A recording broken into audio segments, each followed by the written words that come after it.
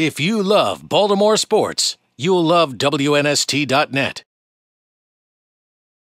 Thank you very much. You're welcome. Had these shirts made up. This quote on the back here.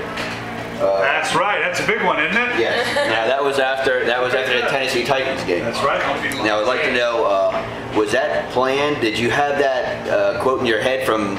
Did, did, was that off the cuff? I mean, my, my being mad was off the cuff. You know, I had heard that that that quote before or that concept before.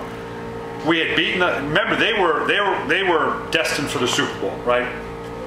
On cover of Sports Illustrated, best team in the NFL, and they were darn good.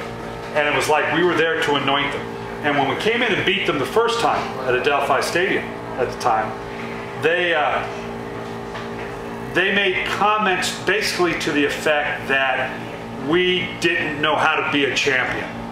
Uh, basically, they were irritated that we had the audacity to come into their place where they had never lost before and beat them.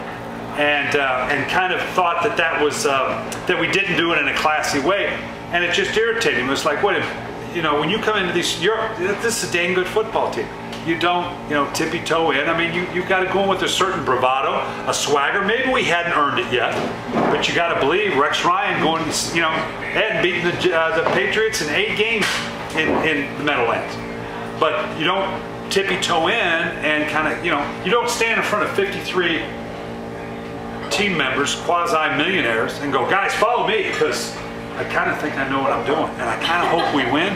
That just doesn't sell it. So. Uh, it was fun to watch Rex go at it with, uh, and the best big thing is when you follow it up, life's pretty good. Well, I appreciate it, Coach. Thank you very yeah, much. You're welcome. If you love Baltimore sports, you'll love WNST.net.